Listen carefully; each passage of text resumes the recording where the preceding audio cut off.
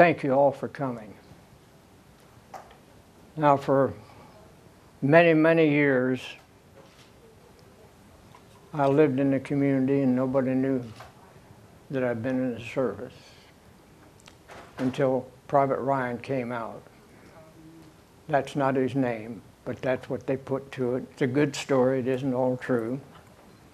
He was in the 501 General Kennard's unit, but he got dropped in the wrong place and came to our unit and stayed. And so when the reporters started coming, uh, that's when this thing came out, and everybody said, "Well, why didn't you talk about it? Did it, you know, hurt you to talk?" I said, "No." I said, oh, "Everybody that came back and that I knew, especially around where I live, we all built our own houses. We all got married. We were too busy to talk about it. All we wanted to talk about what we were doing. Until later, this gentleman called me and said he had been interviewing veterans and using them in his classes. And would I sit for an interview? There are a few things to say. One, I did nothing special. Our unit did something special, and I was privileged to have been a part of that unit all the way through, from the start until the finish. I'm a symbol of those who can't be here today. Secondly, none of us considers ourselves as heroes because we volunteered for this, we trained for this, and we got paid for it. And I consider policemen, firemen, EMT in the same category. We're all the same. Bravery beyond compare. I can't imagine going into a burning building the way firemen do. I'm not sure I would have the courage to do that. A policeman, three o'clock in the morning, stops a car with a bunch of grungy people in. He's taking his life in his hands. I don't think I could do that. I did what I was trained to do. It went against all the things we were raised with. We got medals for killing people. Back here, they put you in jail for that. So that's, that's a big change. Now, people have asked me, how did it feel seeing people die? Well, I wrote my mother a letter, and I still have the letter. And I told her it didn't seem to bother me in the least, and it didn't. After seeing a couple of people killed, it doesn't bother you. Well, how about seeing your buddies? I said, you know what?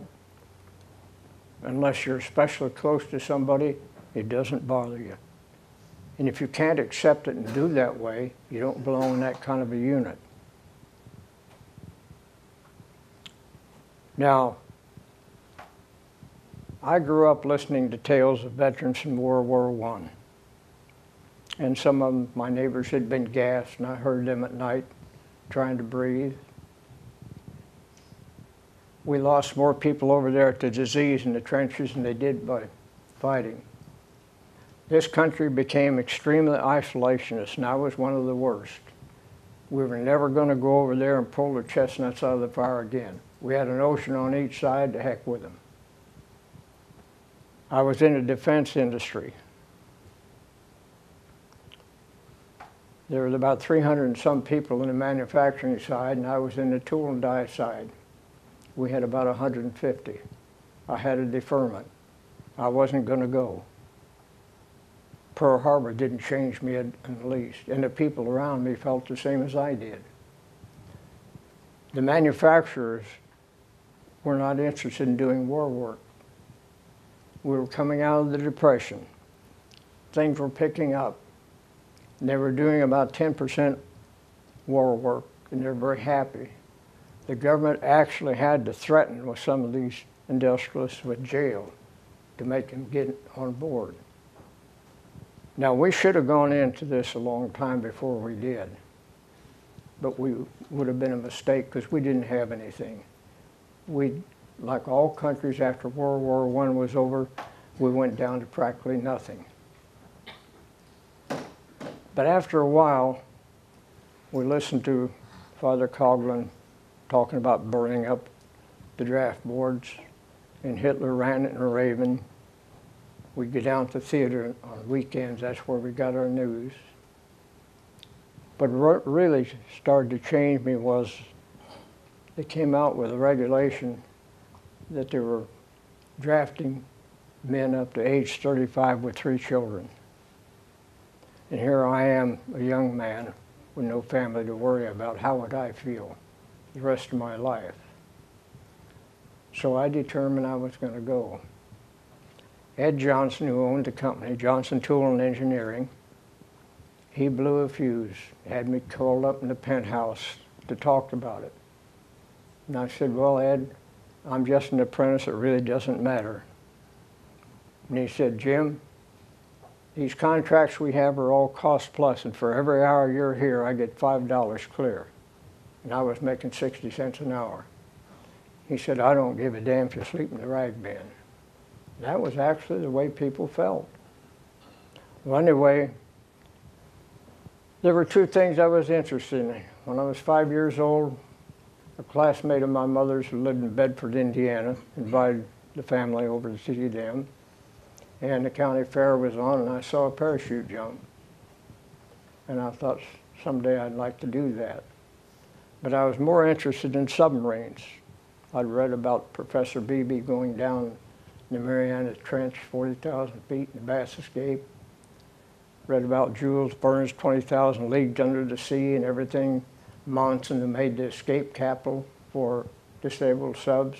So I signed up. And then I said to the guy, how soon am I going? He said, well, they're working on a sub you'll be on, um, be about six months. You go home and we'll call you. Well, that didn't sit very well. I couldn't go back and ask Ed to let me back for six months after that. So I went across the hall and signed up for parachute troops. I'd already signed up for the Navy, but that didn't bother me. I didn't even think about it. Well, I went to Fort Harrison, Indiana. They got a group of us together, five or six of us, and sent us to a place called Toccoa, Georgia. And we got on the train, and the conductor looked at that and said, Tokyo, you guys are going the wrong way. He never heard of the place. I hadn't either. General Bradley was very much interested in what happened at Crete. The Germans took that island, but they paid a terrible price, and Hitler was never interested in paratroopers after that. But he thought that with some changes, maybe it could fit in with the Army. Well, the old Army was not thrilled. They were not interested in having this, and they tried to stop it. But Bradley got to, to Roosevelt. Now, Roosevelt was Navy, and he listened, but he wasn't too thrilled about it either, but he, he gave him the go-ahead. He said, I want a unit that's never been fielded, one that's better than anything that anybody's ever had. And he picked a guy named Colonel Robert Sink, class of 27, West Point, to run it. And he told him, you can have any personnel you want, you can have any material you want, anything you want done. The only person who can countermand it is Roosevelt. They didn't want old Army men in to intimidate or bother what was going on. They wanted new people.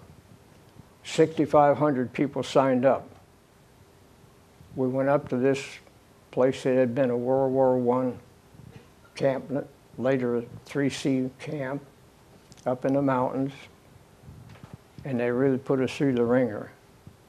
From July 15th to the 1st of December, we did what Colonel Sink thought of and called airborne basic.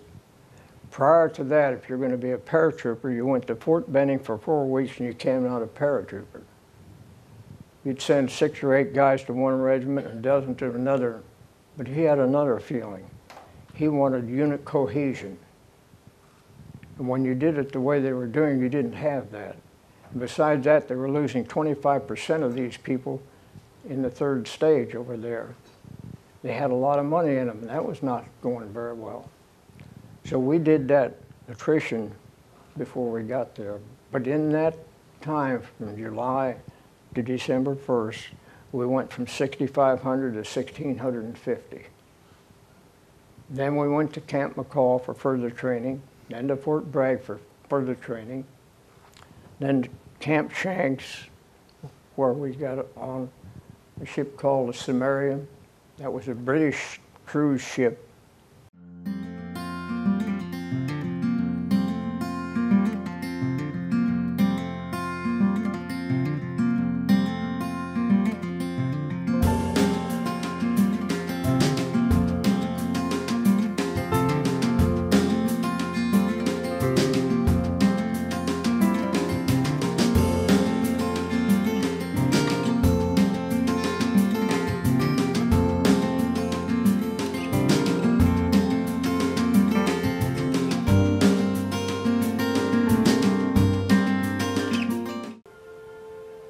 Now that's my company going up the mountain. That mountain, that, that was a three mile one way trip, six, six miles round trip. And we're expected to do that in company formation in 45 to 50 minutes. We did that four and five times a week for those three or four months we were there. And that took a lot of guys out, probably a lot of good guys that would have been combat guys because we got into combat, we didn't run that much. We could have done without it, but it did, it did toughen you up. And in 105 degree heat in the summer, we ran it. When it was sleet and rain toward the fall, we still ran it.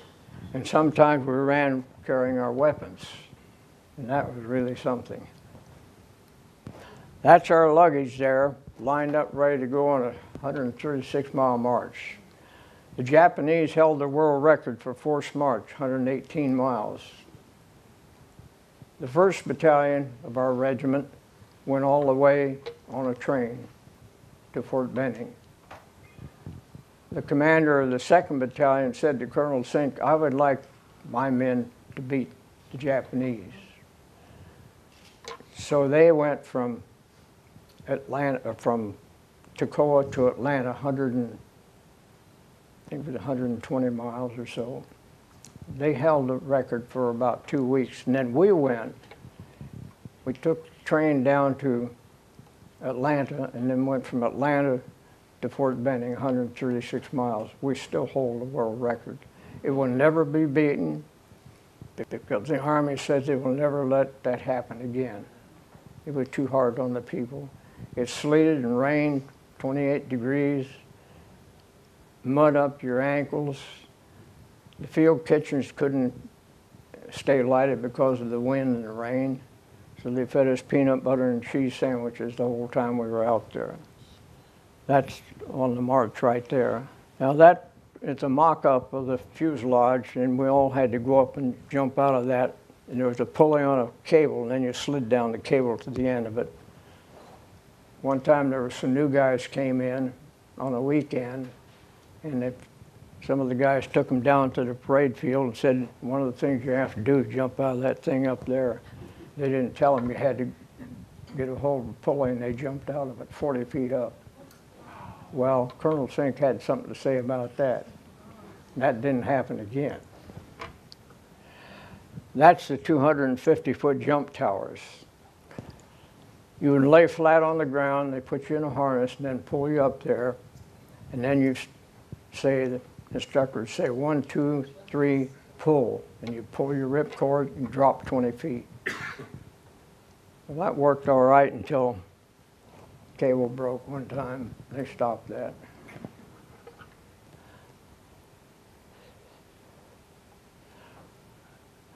Now, the, the planes they had were C-47s that should have been in a junkyard 10 years before. They had oil spewing down the sides of the planes. The engine sounds like they were coming out of the fuselage, but we didn't care. We had to, our first five chutes we had to pack ourselves. And, you know, you stop to think about that. You've never even seen a parachute before, and you go in there and that guy tells you how to do it. And then you, you put that thing on, and you think, you know, is this thing going to work or not? But they did. Uh, there were some accidents. Uh, there were some British guys that came in. They made their three jumps, and then they decided they didn't want to jump anymore. So one of our guys named Lance Edmond, he was paid $25 to make the two jumps for them. Now he had made three jumps himself, and then he decided he didn't want to be a paratrooper, so he refused to jump, and they threw him out. So I don't know whatever happened to him. But we went through some pretty tough times down there. Uh, Colonel Sink got us out on a hillside one time, and he said, "I understand you guys are not happy." No. You don't like the food? No. You think I'm too hard on you? Yes. Now, he talked very little, and he never raised his voice, but he just sat there and said, Well, I'm going to tell you something. It's going to get a hell of a lot worse before it gets any better. And then several weeks later, he called us out there again, and he said, I want to tell you fellas, I had a congressman come to see me. One of you people sent a note to his mother how terrible I was treating you. And I'm going to tell you, the next congressman that comes to me, the guy that made that happen is going to wish he wasn't born. Well, that's the way it went. Anyway, we're all hopped up. We finally get our wings. My gosh, we were walking on air because we're really something now. And really, we had done something. That was something never been done before. Anyway, we got on, that's Camp McCall there. Uh, that's when we did a lot of experimental. Our, our regiment was the experimental regiment. Everything new, weapons, equipment was tried on us. As a result of that, we had quite a few injuries, and some things we kept, some things we got rid of. One time, the group of, of Gloucester uh, wanted to see a parachute jump, and our company was chosen for that. And it was raining, pouring down rain. We flew around for about two hours. We had our machine guns, or mortars, everything. 35 mile an hour wind. Finally, the pilot said, We're going to land. No, no, we're not going to land. Not with this load. This is not, you can't go with a load like this, and there's no landing aids at the field, none. And you can't see a half a mile ahead of you. So we jumped. Sergeant Sarver went out with his rifle across his reserve, and he must have tumbled because it wrapped up in his suspension lines and he got killed. He fell flat in a plowed field and it actually pushed down about four or five inches deep. Lieutenant Dowdy went over and was like that first guy to be there. He was pretty upset. And then to make it worse, we had to walk 15 miles home in the rain. So that's introduction to that sort of thing. Yeah, that's the Samaria. It was made for a thousand people in peacetime. We had 5,000 people on board. You can imagine what it was like. There was not enough room to put everybody inside, so half the guys were on deck, sleeping on deck, and half were in hammocks down in the bottom. We had two feeding lines. And the first day I was on KP and we went down in the hold and there were some big wooden barrels with the heads knocked out, full of brine. And this Indian, and I mean from India, he, he had a, a brawny sort of a guy with hair all up and down his arms. He was a chief cook. He reached down in and pulled a big piece of meat out with horse meat. He said, this is what you're going to eat. And one of the guys said, well, it's got maggots on it. He said, well, it's live meat, ain't it, mate? Well, that's what they ate. And I didn't eat for the 10 days of the crossing. And the worst part was they had two dish pans, and everybody washed their mess kit in those pans. And every so often they put some more Clorox in it. As a result, everybody got the run. So you can imagine what that's like. Well, we got into Liverpool. They put us on a train. It was about three or four o'clock in the morning. We got off at a little place, dark, couldn't see anything at all.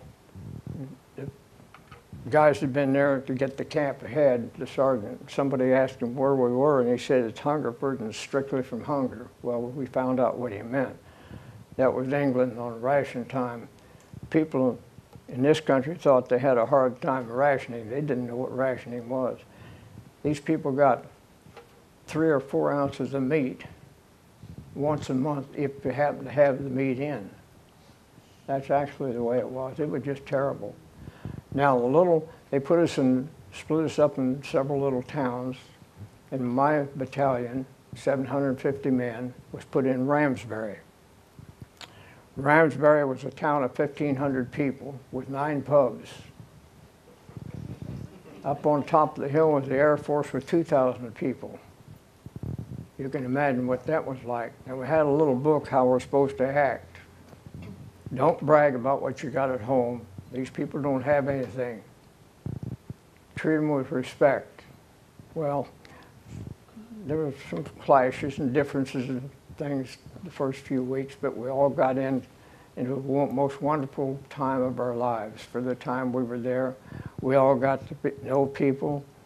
I had four houses and Parliament of Peace I could walk into without knocking. I had one house where I had a room. I had clothes. If I came in late on a Sunday night, I could just go in and go to bed instead of going into the barracks. It was that I mean, it was ju- and our, all these people interacted with our parents.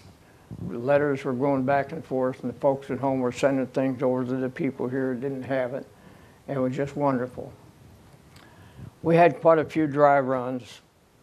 We'd get up, clear out to the plane, starting to get in the plane, be called off because Patton or somebody else had overrun the thing. And finally, the time came.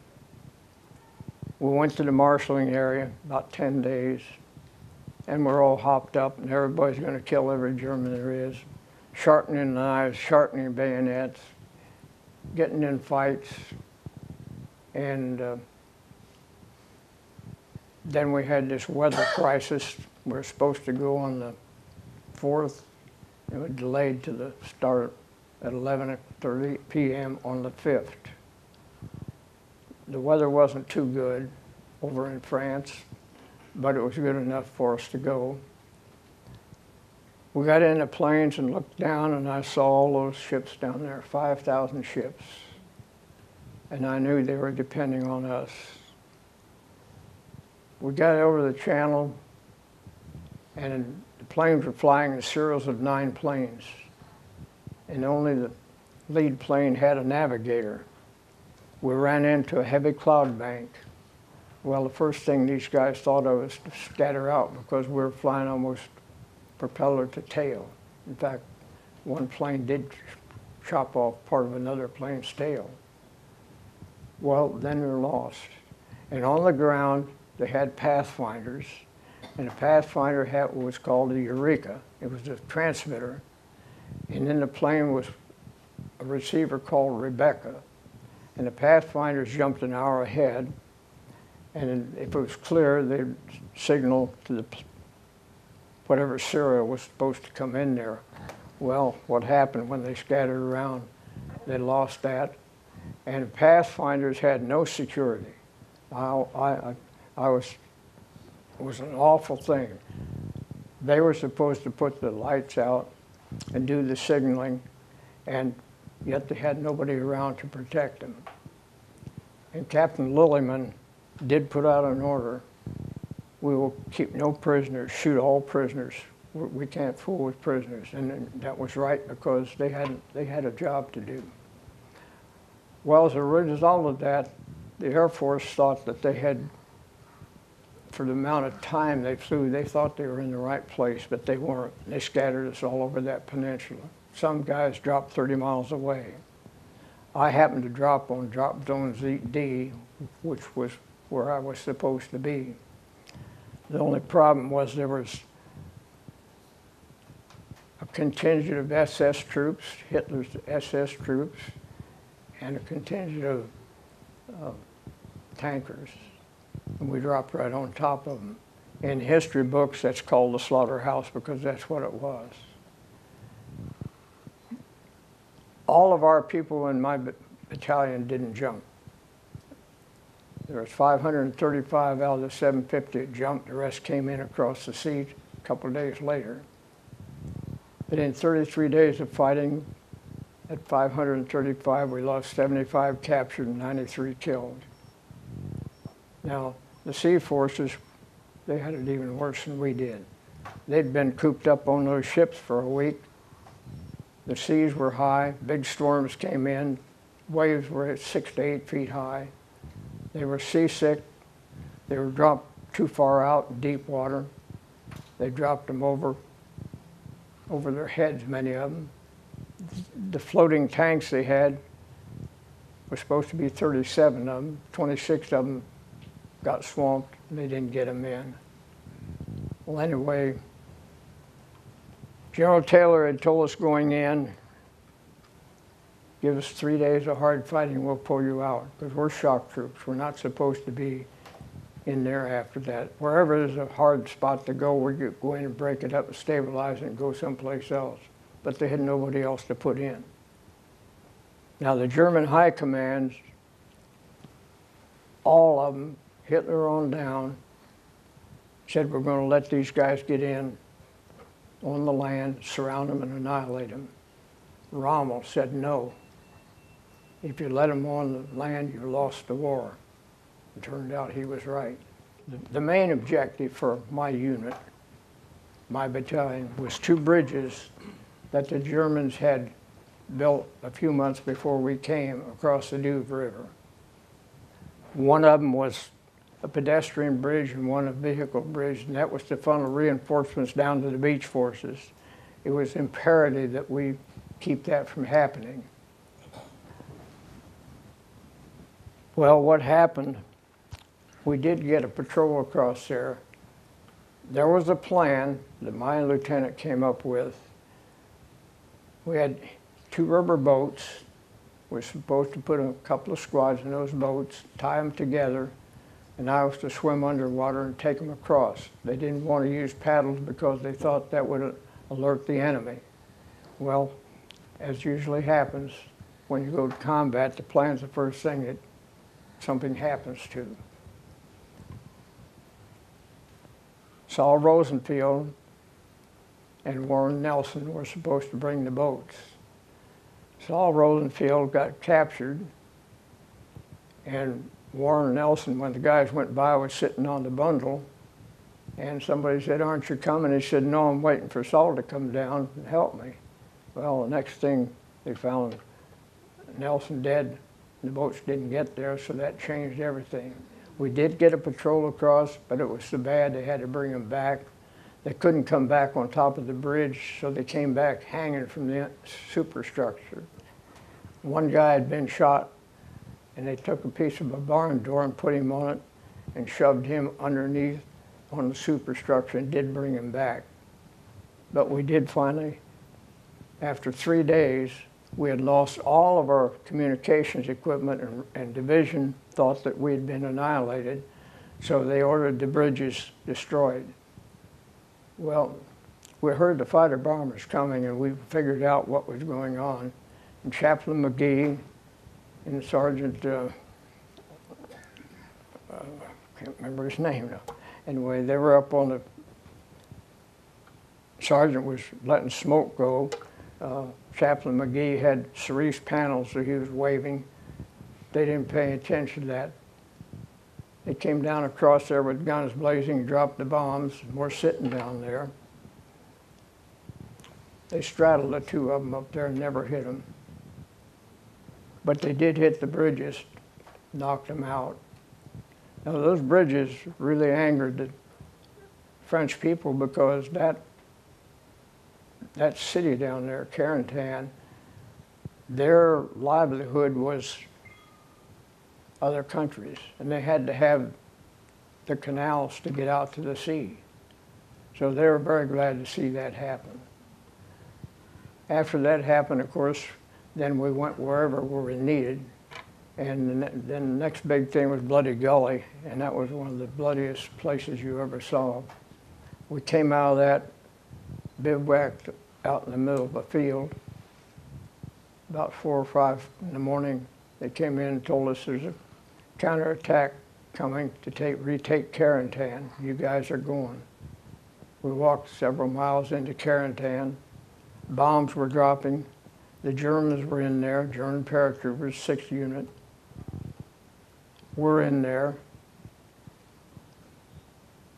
We took the city back. That was the linchpin for that campaign. If we had lost that city, we'd, we'd have lost France. It'd been really rough. So when Normandy was over, now I want to tell you about Normandy. Normandy was not like other fighting. It was the most barbaric fighting that we'd ever been into or ever expected to be into, and never had anything like it. And the reason was all of those six parachute Germans were told that we're going to kill all prisoners, and we'd been told the same thing about them. The Germans reinforced that by having a non-com at the back of each unit that if he saw a soldier that he didn't think was doing as much as he should, he was to shoot him. So they had a great incentive to do that. We had guys in every unit who liked to shoot prisoners. They got a thrill out of it. Now, when this starts, and some of it was really barbaric, he goes around the battlefield quickly, and then, of course, everybody's doing it. Some of the commanders joined in with the guys. They were as bad as anybody else. Some, like Winters, would not tolerate it. My commander wouldn't either. That doesn't mean it didn't happen in my company, but he didn't know a lot about a lot of it. To give you an idea, two guys in our unit got a couple of German prisoners, and they didn't know what to do with them. So they tied them standing up to a tree and then wound it around barbed wire, and then dropped a grenade there and walked away. And one of the other guys said, My God, what do you think's going to happen to any of us now that get caught? So they unwrapped it and let them lay. There was an aid station getting ready to take people back to England to the hospital. And there were three Germans that were unconscious. And several people in our unit castrated them. Some of the guys went into a barn and found four paratroopers stripped naked hanging from a beam. Not a war wound on them. They'd been slit from the groin up to the sternum. Their intestines lying in the ground in front of them. Their genitals stuck in their mouth. That's the kind of thing that went on. That didn't happen at any other time that I was in the war, but it was really pretty terrible. Now, when I wrote to my mother and said it didn't seem to bother me, it really didn't. It didn't touch me in the least. You just get used to that sort of thing. So we went back to France, back where we were, or in England, I'm sorry, went back to England. We did more training. We had more dry runs. And finally, um, we're going to go to Market Garden in Holland. And they said no more night jumps. They found out what that did to you. It scattered you. You couldn't see. And it was a mess. We did a parade ground jump in Holland. We jumped at about 800 feet, contrasted to 450 in Normandy. On a Sunday afternoon, bright sunny day, we did run into some awfully heavy flak, but we got through that all right. We hit the ground, and every person in Holland wanted to help us. They picked up guns on the battlefield and went with us. Young kids, 15, 16, picked up a rifle and went along. One of them was an in, interpreter for our unit. He was with us for quite a while, and he got killed.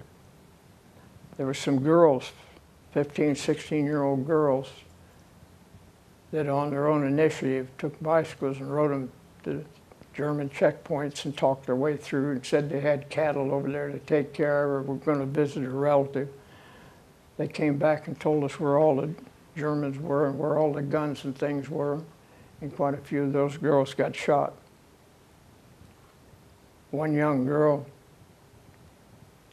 about four or five years, well, she lost a leg, and about four or five years ago, she was in her 80s.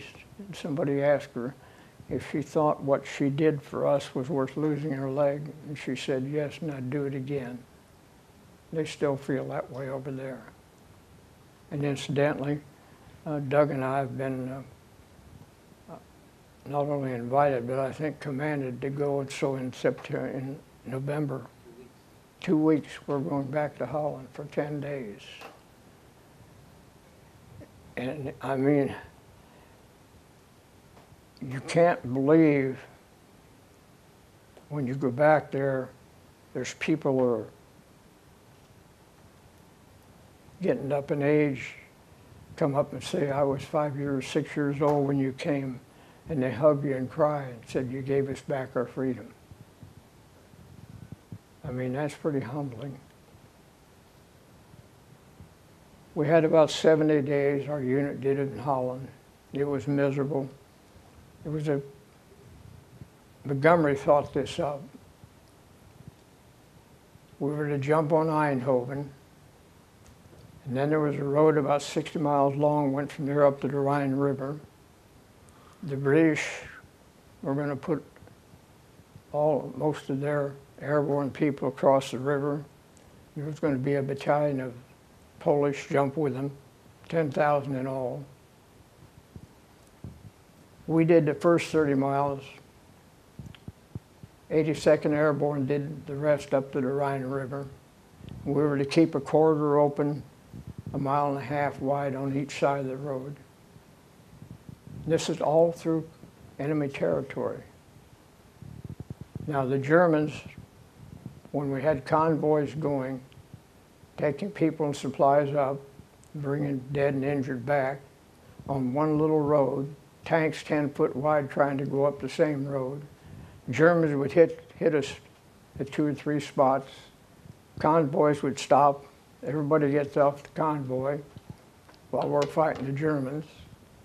They start cooking or going to the toilet or talking to each other. Time you get this straightened up and get the convoy moved again, you've lost three or four hours. It was pretty bad. Well, there's one bridge across the Waal River that had to be taken. The British sent a commando unit over but instead of dropping them on the bridge as they should have done, they dropped them six miles away. The Germans immediately saw what was up in there and reinforced it, and that bridge could not be taken. So we knew at that point this was a failure. If it had been worked correctly and taken, gotten that bridge taken, they were going to go up and turn right and go down in the Saar, the heart of German industrial, and it would have been over by Christmas. But when they couldn't take that bridge, it was over. In the meantime, Montgomery didn't send his troops up fast enough. They were to be relieved, over there the second day, and that didn't happen. And then the worst part, we didn't have the tactical air support. There were very little aircraft. They had unlimited amount of guns on the high ground across the river firing at us. The Germans had started their armor down toward the Saar, and they came back, and we're sitting ducks. And where in the heck is this tactical air? It wasn't there. We still argue about that today. The worst part was, in order to get this operation going, they had to take all the supplies, fuel, and everything away from Patton and stop him. And he'd been going 20, 25 miles a day and there he sat, and he wasn't very happy. This was a political decision that Eisenhower had to do. He didn't want to, but Montgomery had dogged him for weeks about it, and finally he was given the okay to do it. That's how these things happen. We're still arguing about it today. We went back to Mourmelon, France. turned in all of our crew served weapons and all of our extra clothing. The rumor is we're going to go to the States and get a furlough and go to, then go to Guam and get ready to jump on Japan. Instead, Sergeant came in through the barracks four o'clock in the morning to get up, get up, there's been a breakthrough, you're going. And I swore a little bit and said, no, that's another one of the Army's things. We don't have any winter clothing, we don't have any ammunition or weapons have been turned in, but it wasn't long. Big semi trucks with open sides came. They put us in standing up so tight you couldn't sit down. We started out in the dark. We didn't know where the heck we're going. Drizzly rain, trucks sliding off the road. It was a mess. Lights on. You're going through enemy territory with lights on, you know something's going on. This was the last gasp of Germany. They had decided to make a big push through the Ardennes.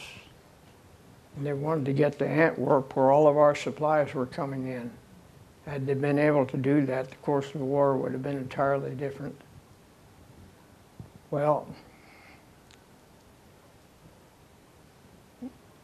we got off, dumped us off in a muddy field, and there's people coming back crying, coming toward us. They looked like they'd been through a meat grinder. They asked us where we're going. said, We're going up to fight. They said, No, no, they'll, they'll kill all of you. They're killing everybody. What had happened was that was a quiet sector up there. Nobody expected them to come through there. They had done it once before, but they didn't expect them to do it again. The 106th Regiment and the 28th were up there. The 106 had never been in combat, but just put them up along the river. And the 28th had been beaten up so bad they were no longer a viable outfit. Just to let the 28th get a little rest and the 106 to get an idea what it was like to live in a combat area. And they got hit. They were reporting back to intelligence that they were hearing movements of trucks and tanks, lots of them across the river. Intelligence said, no, you guys are on a quiet spot. There's nobody over there. You're jumpy. Uh, they're probably playing records, which they did at times.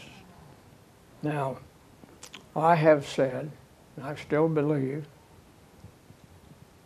that every officer in both of those units was derelict in his duty. Intelligence is also derelict. And the reason I say this, they never put a patrol across there to really see what was there. If they'd have put one patrol over there and seen that, yes, this was a movement of tanks and trucks, despite the weather, they could have come over and saturation bombing it and broken it, broken it up.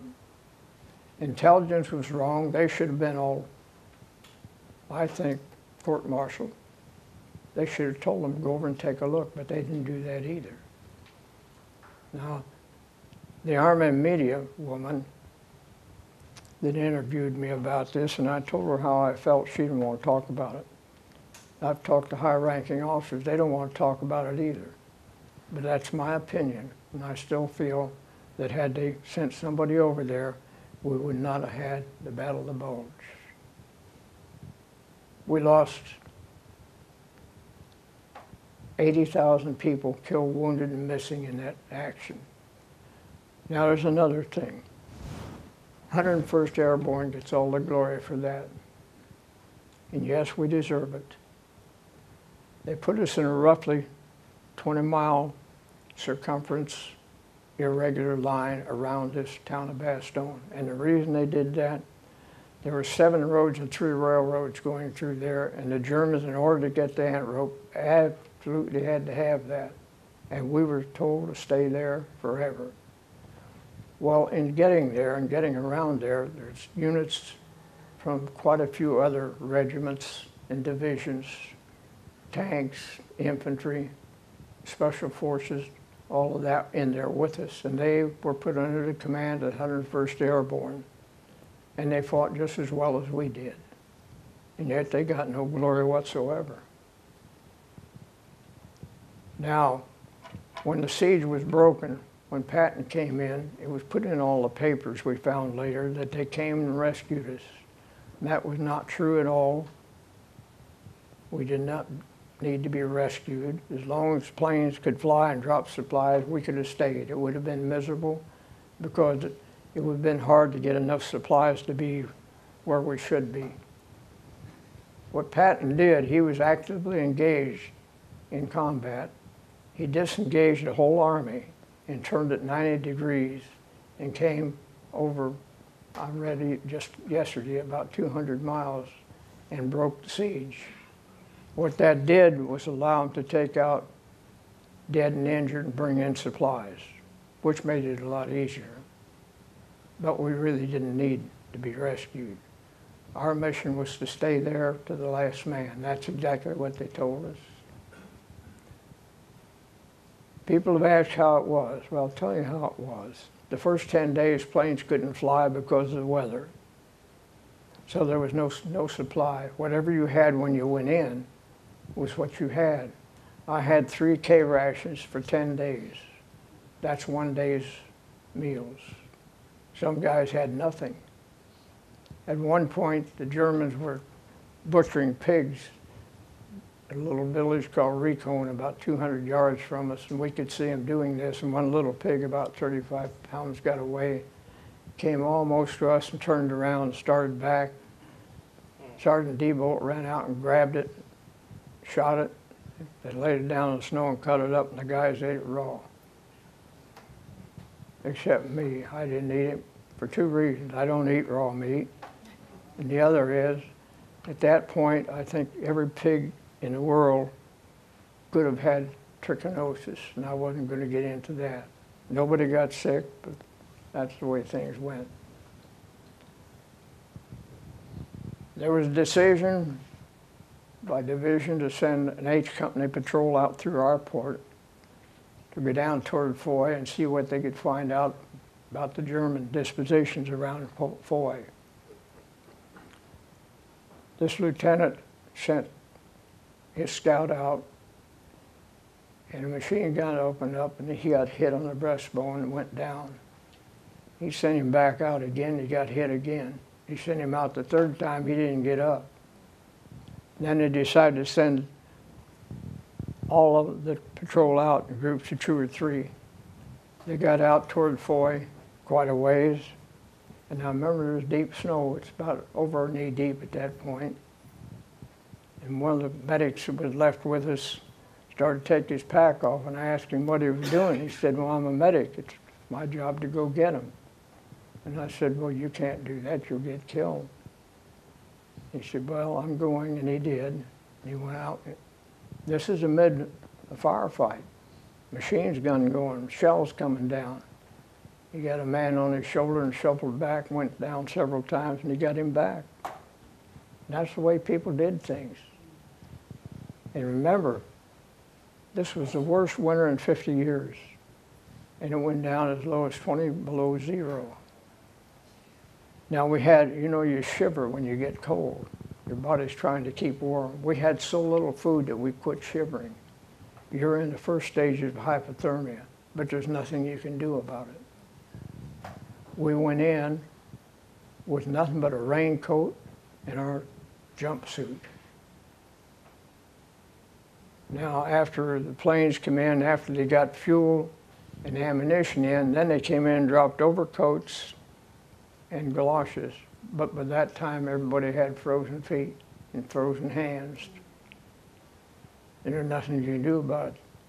Now, if you went in, got hit, and went into aid station, and your feet are black, they cut them off. One guy had gangrene clear up to his knees, and they told him they were going to have to cut him off. And he said, no. They said, well, you're going to die. He said, then I'm going to die. I'm not going home without my legs. And he ran up and down the makeshift hospital, and believe it or not, he still got his legs when he went home. And they said they'd never seen anything like that. Now, they captured our medical detachment, Now, we had some small first aid stuff, but not, they ran out of anesthetic the first thing after that aid station got taken.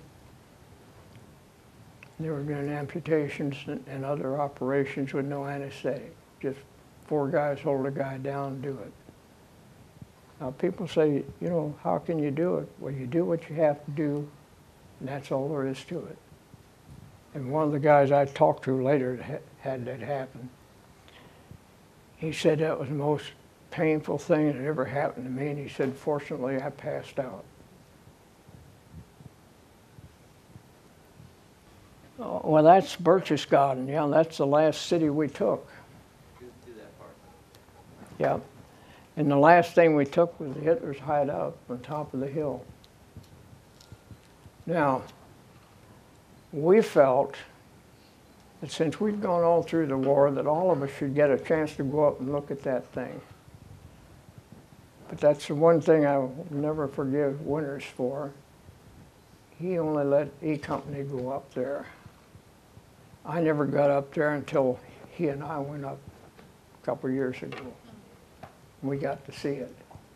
Now that's not too high.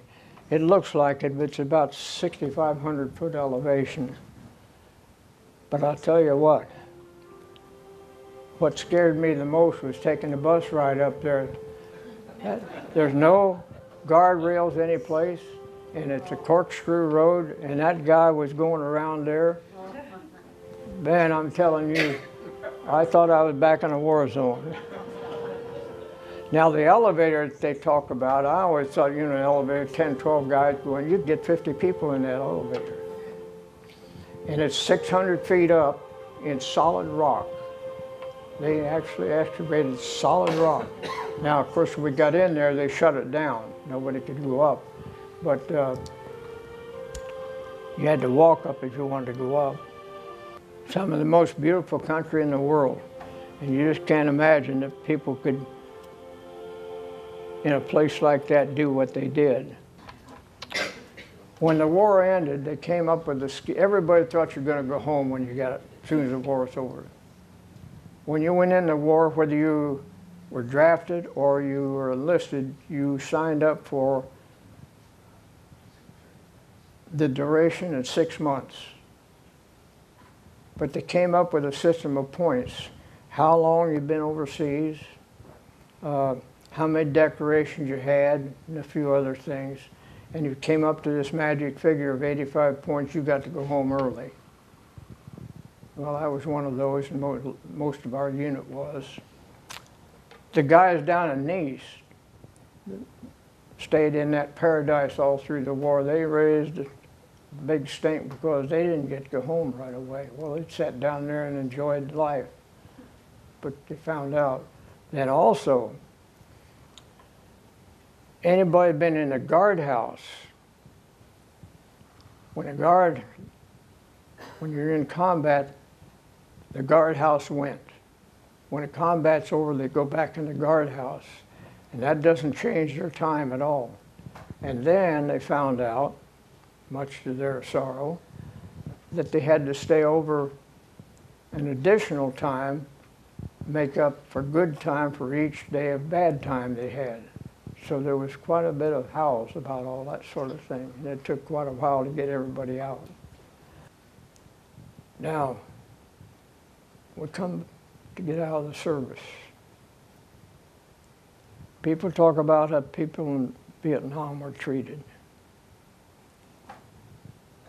Yes, they were treated badly.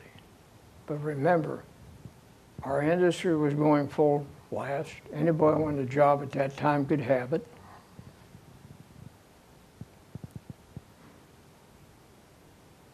When came back, and there was no rationing, when we came back, there was rationing.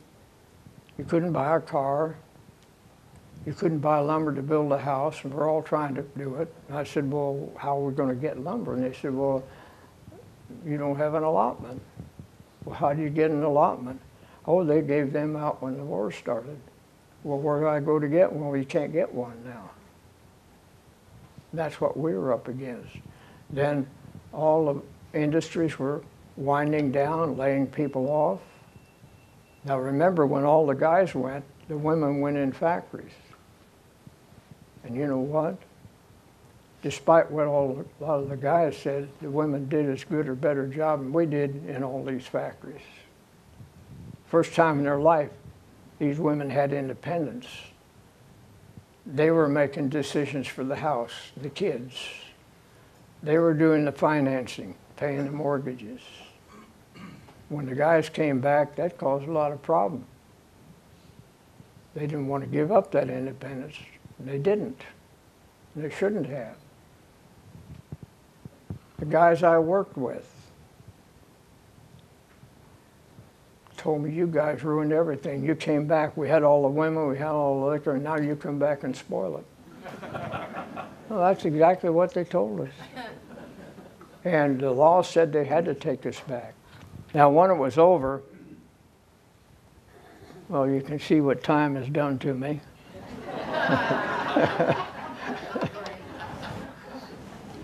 but my wife looks like I do, and I still love her the same as she was. And she's 93 now, and we still live her on our own. Well, uh, this Band of Brothers show was really all I can tell you. I know there were a lot of mistakes in it, a lot of things that are not small things that are not right, and some I thought were big things. And I said, another thing, you had a sex scene, raw. I said, you shouldn't have put that in. And I said, I don't think it happened. Who in the hell in the middle of combat is going to be having sex with a girl? And what, what Holland girl from Holland is going to be smiling with a guy on top of her in the middle of combat? Well, I, I've seen it several times. I think they must have taken it out because it wasn't there. And then he got pretty upset with me, he said, well, we did that for dramatic effect. I said, but that's wrong. That's not dramatic effect, that's stupid.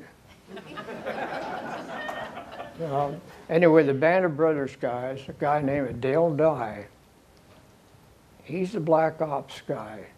He's been in more combat than most people ever thought of being. He, has been in those places, still is going, where if something goes wrong, your country, country doesn't know you.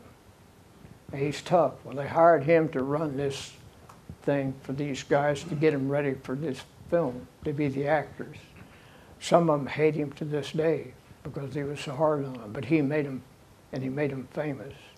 And I have told these guys, we've met almost all of them several times, and I love all of them. I think they're wonderful. I said, you know, when I sit here and look at that, you guys look as good with a couple of weeks training as we did at six months, and it's true. They do. Now, there are things that are wrong. For instance, I can understand why filming they have to do, they're bunched up. You never bunch up in combat. One shell can kill a whole bunch of guys. When you're walking in a column, spread out, spread out. I can see why you do that. I'm very happy to have done it, and I will tell you this. People come up and say, thank me for my sacrifice. I do not consider anything we did as a sacrifice, and neither do any of the people I was with. Can you imagine at the time when we went in there, most people would well, out in the Midwest, many people had never seen a plane. I didn't know anybody had been up in a plane. We read about all those World War I battles, all those big cathedrals, all those wonderful cities, and we got to go over and see all of that in a way that tourists can never see it even today, because we got to talk to the people who lived through it. And to me, that was priceless. So I had to be able to come and talk to people and tell them a little bit of what it's like. Uh, I consider that just absolutely fabulous. See, we had a mandatory insurance policy we had to take through the government, 650 a month. They just deducted it from your pay. ten thousand dollars. And I used to tell the guys, and I used to send a letter to my mother and dad, and I said, if I get killed, I want you to buy a farm. Now, when we'd go into a firefight and come out of it, somebody'd say, well, what happened to so-and-so? Oh, he bought the farm. That's where that started. Okay, okay, any other questions? Yes, did you ever take advantage of the GI Bill? Well, I know- I know a lot of people have asked me that. Yes, I did. I went out to UD and I took the exams, and they told my wife I did some of the highest they'd ever had. I went in and they had a teacher, she had a, a comprehensive writing thing we're supposed to do, and I did it. And she got up in front of the class and said, I want to read this, and it was mine. And she said, that's the best one that's been turned in here for a long time, but I'm going to tell you, it's not good enough. And I thought, what the hell with you, lady? My IQ was up where I was offered to go into West Point. I wasn't interested in that either. I'd have missed the war. If you signed up, three of us from my company were offered that. But you had to sign up for seven years and you missed the war, so we didn't sign up.